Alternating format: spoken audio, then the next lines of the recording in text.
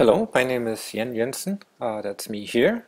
Uh, today I want to tell you uh, about this study that uh, we did, that I did together with Anders Christensen, who did actually did most of the work, and Stephan Sauer here at the University of Copenhagen. And it's about uh, ring current effects in uh, on amide proton chemical shifts. And this appeared recently in 2011 in the journal Chemical Theory and Computation. And so if you just Google the title or part of the title, you'll find it online. okay, so what is this? Um, what is this paper about? First, some background. Um, there's a, a, lot of programs out there. Uh, some of these are, are, listed here that can take a protein structure and predict uh, the chemical shifts. And there are many uses for that. Uh, the one we're most interested in is, is illustrated here in this very nice paper by uh, Jorge Vila and uh, Harold Scheraga in Accounts of Chemical Research. Uh, and what is especially nice about this paper is this figure here.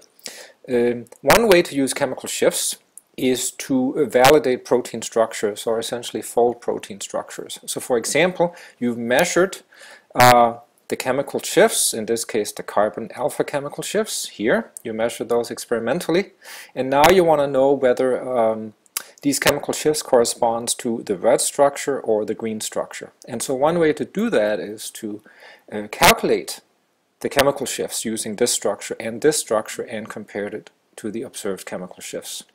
Right, and so what you can see here in the figure is you have much better correlation between computed and observed chemical shifts for the green structure and not so much for the red structure because you have some outliers here right? And so this is a way of, of saying what structure the protein has in solution uh, where you measured the chemical shifts. So that's why these programs are important. Okay, so uh, one contribution to chemical shifts in proteins is what's called the ring current effects.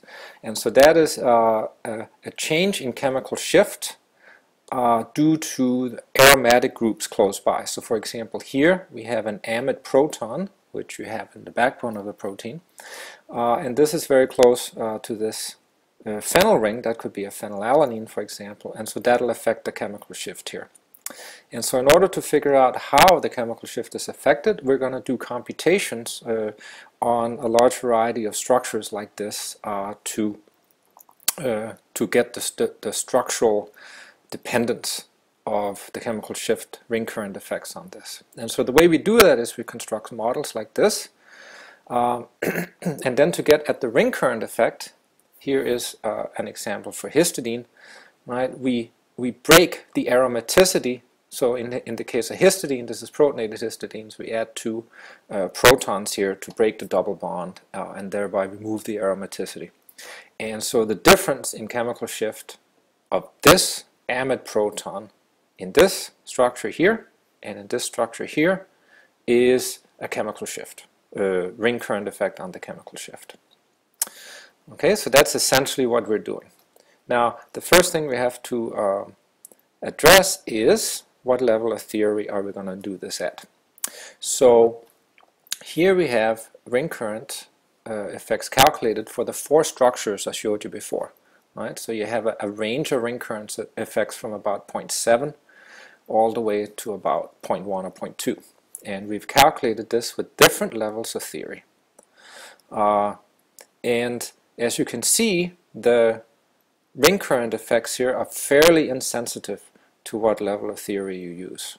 Okay, so you get basically the same number for by when using all kinds of different uh, structures.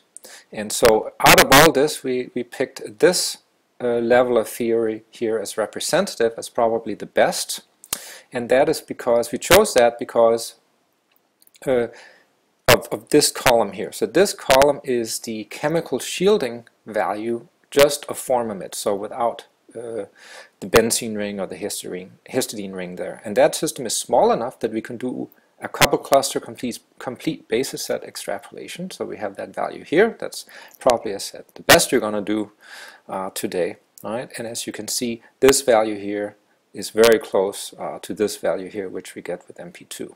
Right? And MP2 we could actually afford. This level of theory we cannot afford when the benzene rings are there, or the histidine rings. But we can afford it at this level of theory. Right? Uh, this level of theory is pretty expensive uh, to do a lot of calculations with, and so what we'd actually like to use is this level of theory. And as you can see, these values here uh, are very close to these values here. Okay, and so they're off by 7%, and so what we do in the subsequent calculations is to scale uh, ring current effects obtained at this level of theory by 1.074. Okay, so the overall conclusion from this table is that um, the ring current effects that we predict using this level of theory uh, are, are, good, certainly good to within 0.1 ppm. Okay, so the next thing then is to do a lot of these calculations. So we extract a lot of uh, group uh, aromatic side chain geometries. So here's an example for, uh, from benzene. So we take a lot of different protein structures, extract a lot of uh, models, and then we do the chemical shift uh, calculations with the level of theory I told you before and the scaling.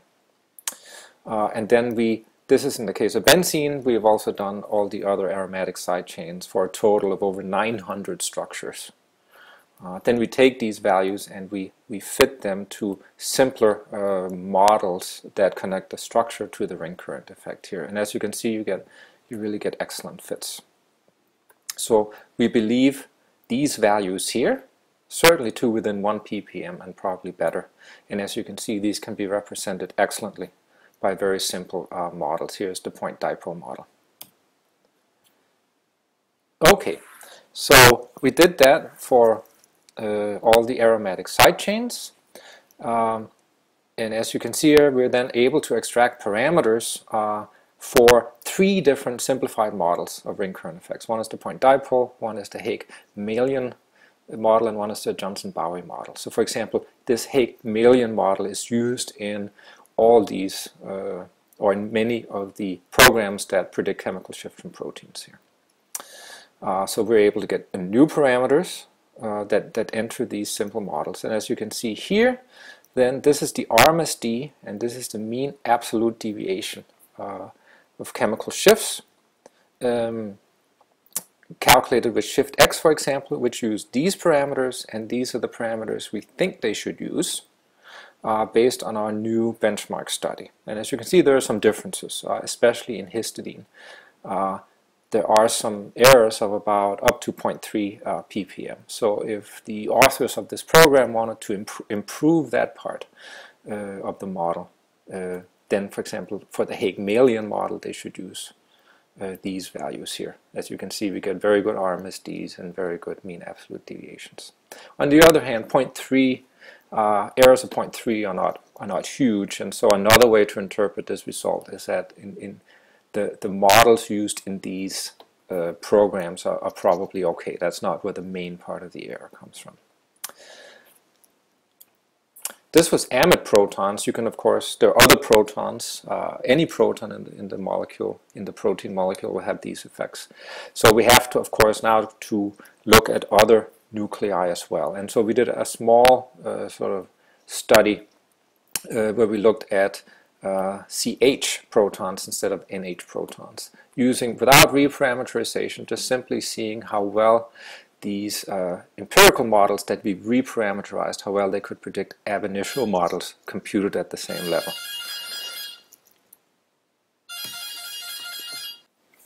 Okay, I'm back from the phone call. Um, as you can see, um, we get using these old, uh, the models parameterized for amide protons, uh, they transfer reasonably well uh, to CH protons. But of course we're going to go back and, and do some uh, more calculations to fine-tune this. Okay, so that's it. Um, this work was would not be possible without the support of, of uh, Novo Nordisk, uh, and it would also not be possible without the computers we got from the uh, we have at the Danish Center for Supercomputing. Uh, and so I want to thank them and I want to thank you for your attention.